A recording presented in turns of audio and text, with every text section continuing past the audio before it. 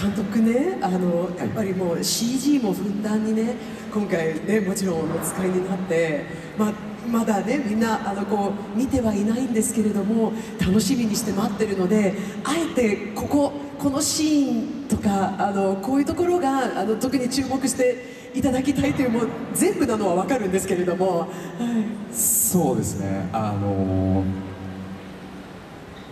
マッケン扮するアクタがあの超巨大なドラゴンに乗ってさらに巨大なドラゴンと戦うシーンがあるんですけどそれは実写パートであるんですけどそれはなかなか見応えのあるなかなか日本では見れないシーンになってると思います、はい。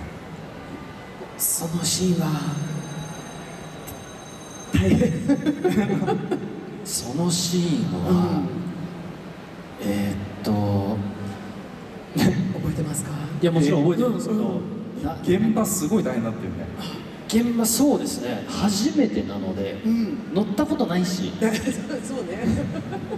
だから初本当にいろんなことが初挑戦でねでもうわドラゴン乗るんだと思うとワクワクしてその日は現場に行った記憶があります。そうですね。今監督何かあそうあの要はアクタ以外は全部 CG なんですよ。だから緑のなんか箱みたいなのに乗ってみんなでそれを動かしてで見えないものと戦うんですね。アクタは。そうそそのね現場はこうだからみんなでこう想像力を膨らましながらややりましたね。そのドラゴンの動きとかもこうねやっぱ羽が動くだけじゃなくて羽が動くことによってこう体も動くわけじゃないですか。で今時速何キロで飛んでるんだっていう設定とかそれに対してこう風の量を変えたりとか結構でも面白かったですけどねみんなでこうアイデア出し合ってね想像力を膨らましながら。一番面白かったのが緑のスーツ着た助監督さん。もう顔も見えないんですよ。顔も緑だから全部。ちっちゃい穴でその目 目の目用のちっちゃい穴でこう動いてるのがめちゃくちゃ面白かった。誰かわかんないしいいね。楽しそうな現場やっぱり。そしてそのアニメで描かれるこの異世界というところであのプロダクション IG が手がけてるんですよね。でこの日本らしいこの 2D っていうところでいろいろこだわってると思うんですけどそのアニメの部分で竹内さんとかが見てあの特にこのシーンだったりとかこだわりを。やっぱりそのドラゴン同士こうドラゴンに乗ってやる空中戦みたいなものは結構その実写の実写の遠近感とは非現実的な遠近法だったりとかを使ってるんですけどもそれがあのドラゴンのそのフォルムとすごくあの合っているというかこうすごくちっちゃいところからすごい遠いところから急にバッと画面にこうドラゴンがやってくるアップ感というかなんかああいうところの表現方法はやっぱりそのプロダクション IG さんならではのあのすごく魅力詰まった映像だったんじゃないかなというふうに思いますのであの空中戦なんかはすごいやっぱり見てて楽しいんじゃないかなというふうには思いますね。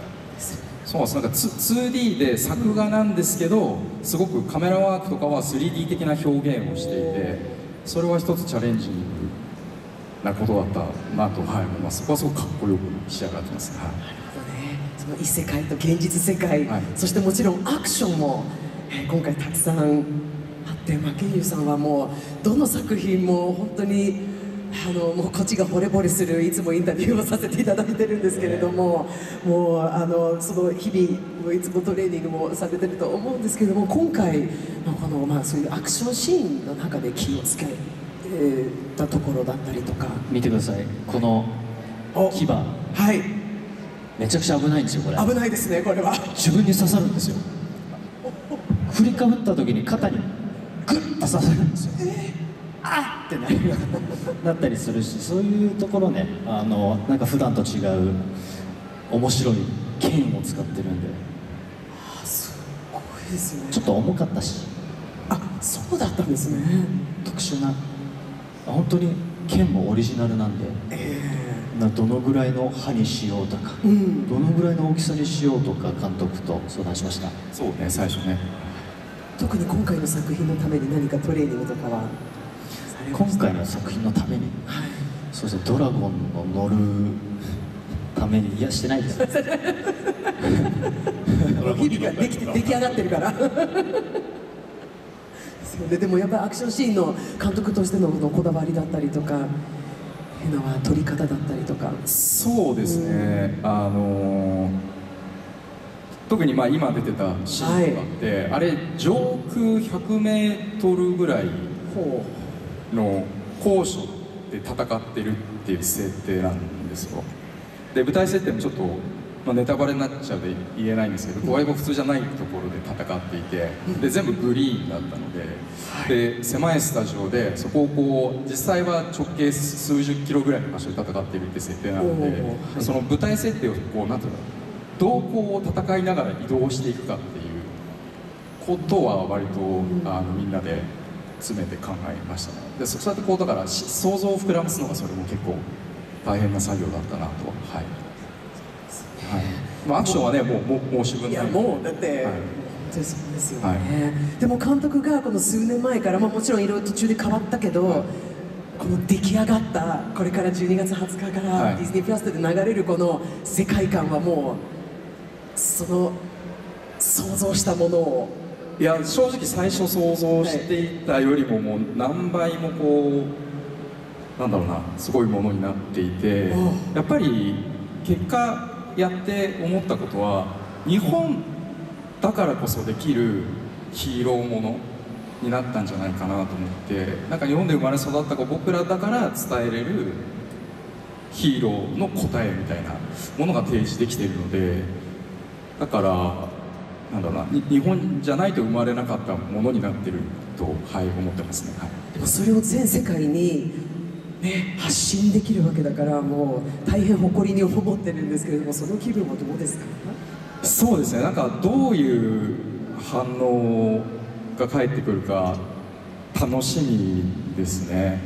なんか、まあ、ある種その一つの答えは出てると思うのでなんかそそれに対してこうみんながどう思うかっていう反応が今から楽しみですね、はい。そして竹内さんもね、まあ、オはい。ラフもね、あのイメージもあのありますし。ありがとうございます。ディズニーさんといえばね。そうですね,、でも今回はもう全く違いますけれどもこのねあのメッセージ的な、ね、で結構ご覧になそうですね。はい。あのはい。でもやっぱりそのやっぱり世界とか種族をこう超えて、こうやっぱり生き物同士手を取り合えるみたいな,、本当にシンプルなんですけれども、まあ、まさしく今すごくあの伝えるにふさわしいメッセージ性なんじゃないかなとも思いますし何よりやっぱりその映像美とかも、はい。まあ、やっぱりこの日本でもここまでできるっていうすごくもう自信持てるものに出来上がったんじゃないかなというふうに思いますので、あのメッセージ映像美ともにあの楽しめる内容になってるんじゃないかなというふうには思いますね。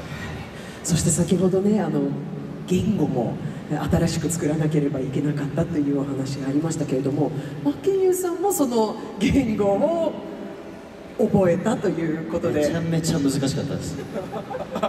本当にあのこの作品のためだけに作られたそう言語めちゃココーチみたいなのもあったんですか？コーチの方がいるんですよしかもその人ペラペラなんですよ。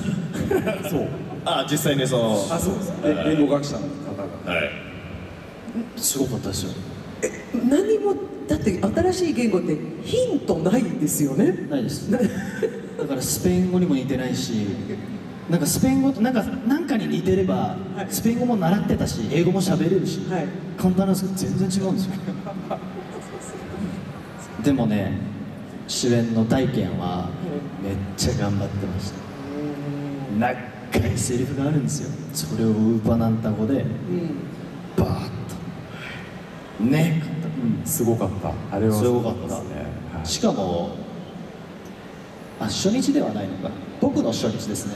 そうそうそうそうそう。僕のクランクインの日だったんですよ。その大賢がウーパーなんとかでバー何ページもしゃべるすげえ緊張してました。すごいでもそれを見ちゃうと真剣佑さんもちょっと緊張しますよ。私だったらねあーって。僕はねそんなになかったんで、あはい、助かりました本当に。私そうですね。12月の20日、えーいよいよあともうちょっとです。えー皆様ねあの楽しみにしていますので最後一言ずつ、えーメッセージを、えーお願いしたいなと思っています。まずは監督から、えー世界中のファンの皆さんにはい。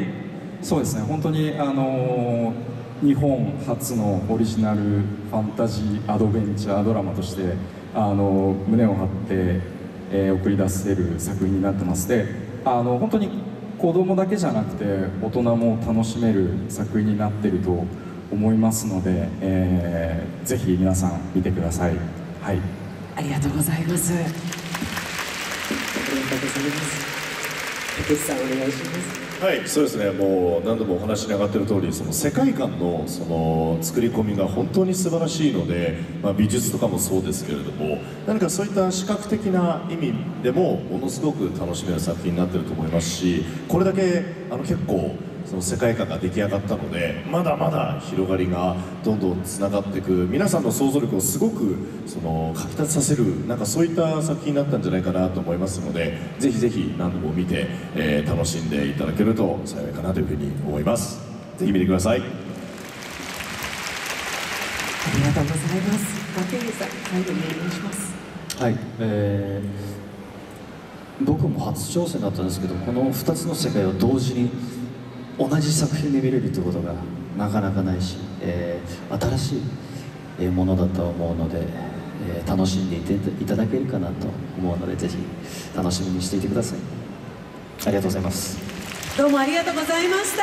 大きな拍手でお送りください。この後フォトセッションになりますので一度はいえー準備していただきましてありがとうございました。ありがとうございました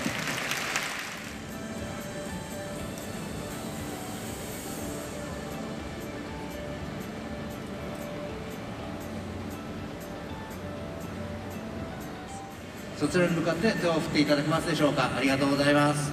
ありがとうございます。ありがとうございます。見えにくいところ本当にありがとうございます。ありがとうございます。はい。はい。ありがとうございます。はい。これでフォトセッション終了でございます。ご協力ありがとうございました。はい。どうもありがとうございました。以上でワンダーハッチ空飛ぶ竜の島スペシャルプレゼンテーション終了いたします。今日はありがとうございました。大きな拍手でお送りください。改めて水さん竹内さん萩原監督でした。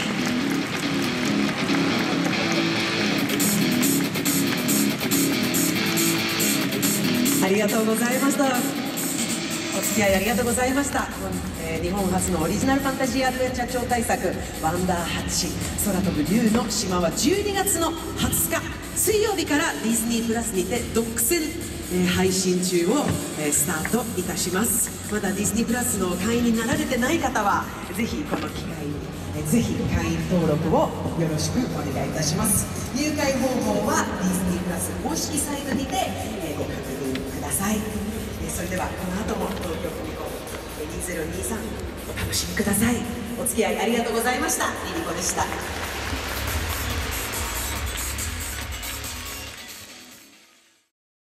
Tokyo Borderless TV.